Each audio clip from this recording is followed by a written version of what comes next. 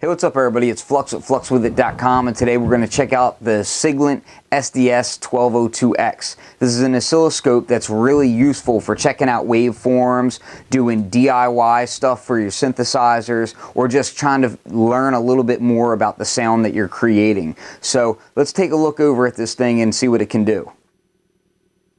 So the first thing you're going to notice about this oscilloscope is that it has a huge screen on it screen is super useful. It's not just a simple digital oscilloscope screen. This thing is what they call their super phosphorus oscilloscope. So it has this grading technology on it that's going to give you 256 levels of intensity. You know, you, you can sort of emulate the look of an analog scope. It's a little bit different than an analog scope and how it works. The waveform capture rate on this thing is 60,000 waveforms per second uh, in normal mode, and then in sequence mode, that's 400,000 waveforms per second. Now, for uh, you know guys like me, I'm not an electrical engineer. I'm using this thing mainly for my synthesizer DIY type stuff you know, just checking out my waveforms, making sure that the sounds that I'm designing are what I want, and just kind of learning more about my synthesizer, that sort of thing.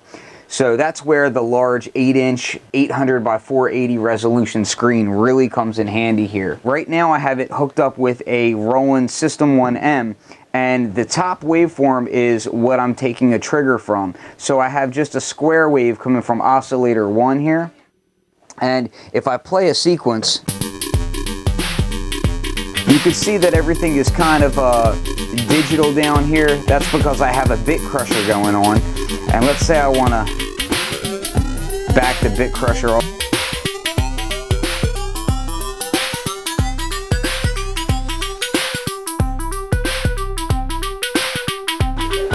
You can really get a great view of what the, the waveforms are doing here and, and you can really check it out and kind of dive in deep. Now I want to show you something here. An advantage of a digital scope like this over an analog is that you can freeze your waveforms and you can kind of dive in and check them out. So let's say you're looking at something like a, um, you know, a, a, kick drum or something and you want to really dive in and find out what it's doing. Or maybe you were working on a sequence and you found a filter was doing something interesting at a particular part. You can freeze that waveform and then I can zoom right in and really kind of check it out. You'll also notice that this display right now is uh, colored. It's not just one single color. And what that is, is we have a color grading on here. I can turn that on or off. And that's going to tell me, uh, red is going to tell me the most consistent uh, areas of the waveform, whereas blue is going to be the, the less often. Uh, we, we'll get into that a little bit later. There's also a mode on here called persistence. And if I turn persistence on while this thing is running, we'll go ahead and start this back up. Let's go ahead and turn the persistence on. We can kind of check out where the peaks of the waveform are. We can see where our waveform has been and it'll give us the opportunity to see it, you know, for an infinite amount of time or we can select between it. Let's say we want it just for a second and then for it to go away.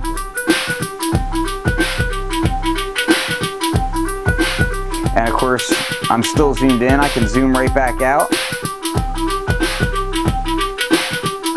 I can zoom in even further, of course.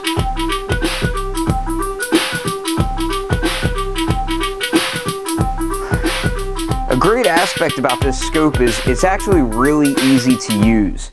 This scope is not, um, it's really not that complicated to use. There's a lot of great uh, buttons on the display here for you to dive right into the different areas of the scope without uh, getting too, too menu divey. There's certainly um, a lot of hidden functions and a lot of uh, interesting techniques that you can do with this. Uh, there's lots of different trigger modes on here. If we go into the trigger section, you'll notice that kind of like a synthesizer, each section is separated out on your front panel. So you've got your vertical adjustments for each channel here. This is a two channel scope and we have an external input here. And we can change the voltage divisions by moving the vertical knobs here. And then we can change the placement vertically on the screen from these knobs here. You can also press and click it in to zero where that knob is at or where that waveform is starting at. Your horizontal is this knob here. And then of course you can use this knob to adjust the position back and forth. And how fast you move the knob will uh, scale how um, how smooth your movement is of the waveform. So it's pretty easy to get it, you know, right to where you want it at. Now, if you click in, we can zoom in on our waveform and you'll see that the, the grayed area is what we're not seeing and then this clear black area is the zoomed in version of that waveform. So if, for instance, we are sending it um, a, uh, a, a, complex waveform, let's uh, patch that up now. So let's say I want oscillators 2 right here. Now if I zoom out, we can see, let's take the vertical amount down a bit and we'll turn the display off. That's another nice feature here is that we have a quick a quick access right here to our di our display persistence. So if you want to turn the persistence on, you can just click this button or turn it off. All right. Now, if I want to zoom into this waveform to really see what it's doing, I just click that horizontal knob and then I can adjust how zoomed in I am and I can back it off as well. And you'll see again, I'm still triggering from uh, the square wave up top here. I can adjust my trigger by going over the trigger, press setup, and then source. I can change that to channel 2. I can change it to an external source. External 5, AC line, back to channel 1. We can do single triggers so that we can freeze and then of course, zoom in from there. And of course, when you're zoomed in, you can scroll through your waveform here. Let's back it off a little bit and we'll scroll over. And we can zoom in on this waveform here, check it out, see what it's doing. And then I can click run again and it's back on. Let's zoom back out here. So this way you can get both an overview of your waveform. Let's bring that. We can get both an overview and we can get kind of a larger display of what our waveform is doing. So it's really easy to kind of just check check out whatever it is you want to see and you can just hop around on this thing very fast. Uh, some other options on this thing that you can jump into is in your utility area. This is whether or not you know you, your sounds are on so you, you kind of get this feedback this audio feedback as you're clicking buttons so that you know that you've actually pressed what you need you can go into measurement modes here as well. Now in measurement mode, we can actually uh, pull this up. Let's say what type of measurements. You got peak to peak, maximum, minimum, amplitude. Uh, you've got some interesting math on here as all. You can check out fall time and rise time.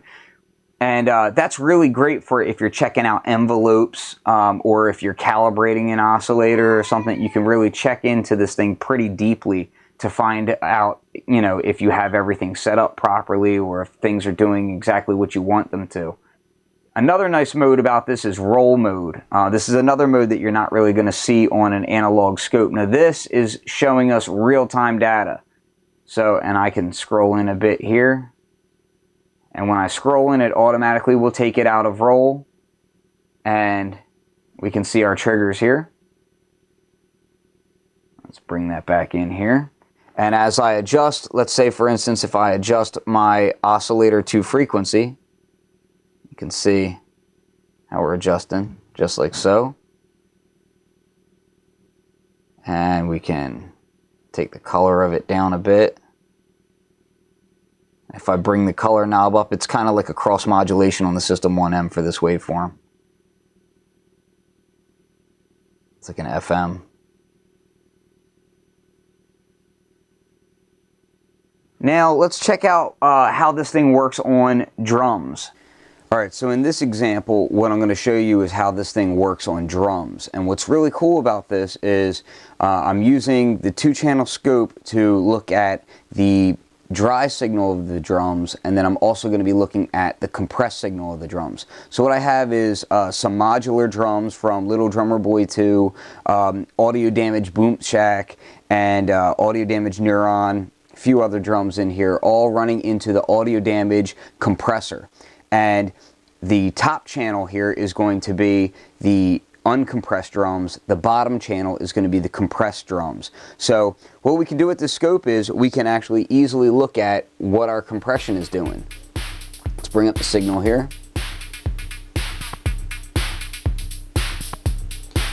And right now we're completely dry. And what I'll start to do here is I'm going to increase the threshold to about 12 o'clock and then I'm going to start bringing in the compression and we'll notice the effect here. Let's add some makeup gain.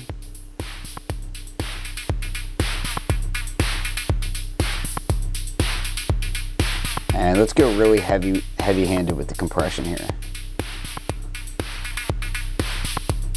You can really see how you're altering your waveforms when we do this. And if I, you know, pause my scope here, and we'll pause the drums here.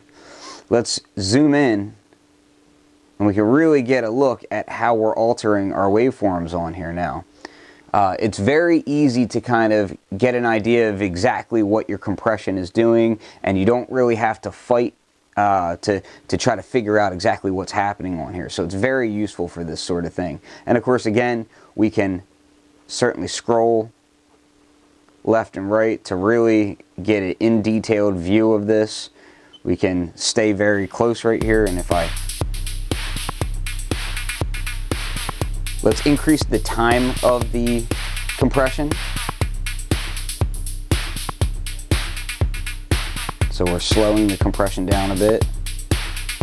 And again, we can use single trigger mode here and it will take that sample and we can check it out we can zoom in so we can see that we've got some kind of soft saturation clipping going on up top from the limiting. Bring that back out. we want to go really heavy handed with the makeup gain and get some saturation going. And then can check out how that clipping looks. Again, that's the audio damage compressor is has its own inbuilt saturation in it, and that's kind of what we're seeing there.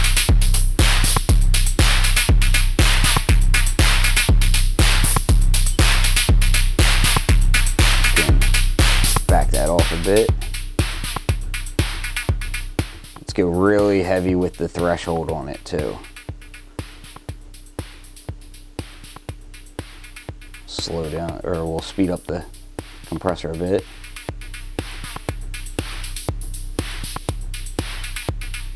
And again, you can just easily check out exactly what's happening. Now, if I go into my display mode, I can check out the dot view. I can take the colors on and off. We can also um, adjust the intensity display. We can back that way down bring it up.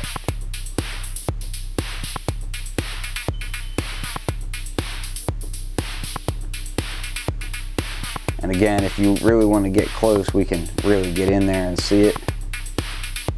Now we have the persistence on infinity right now. Here, let's move this back a bit. So we can really get a great view of these drums. And then we can turn the persistence off.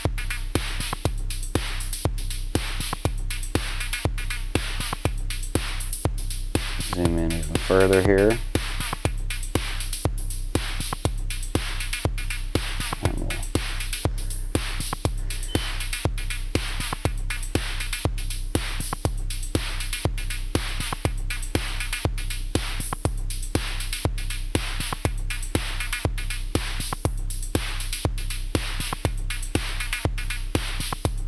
As I adjust my trigger, it, will decide where it's capturing the waveform at.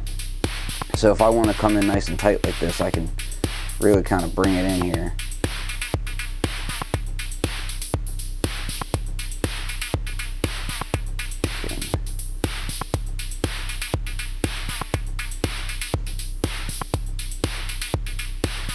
If I only want to get that snare drum, I can really kind of just go to the level of that waveform and we can see it.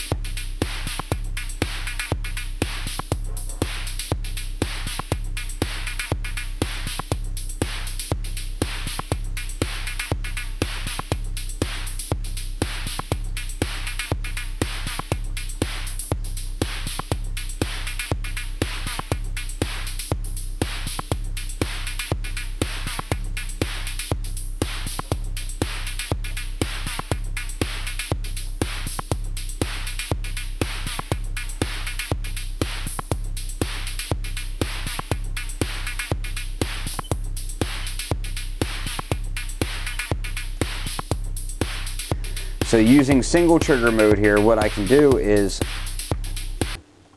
so using single trigger mode here, what I can do is I can set my level of the trigger and then I can press single and when I get to that trigger, it's going to capture that waveform so I can see it up close. This is really handy if you're trying to understand if, you know, maybe you're clipping on a part of a drum that you don't want to be clipping on or maybe you're you know you're you're having trouble getting uh, a certain aspect of a waveform the way you want it to it's just a really easy way to understand better what you're doing.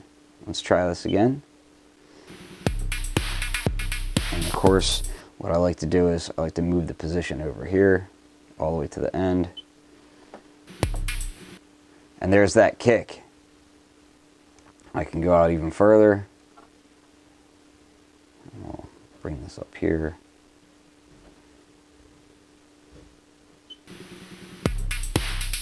There's that kick. That, that's the full kick drum right there.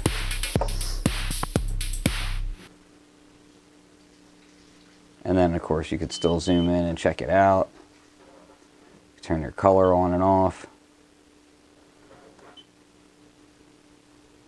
So it's very handy to be able to identify exactly what the compression is doing to your waveforms and how you're affecting your sound and as opposed to just using your ears. If you want to dive in a little bit deeper to understand what's happening with your sound or if you just want something cool to look at you know you can certainly hook this up and uh, take a look at it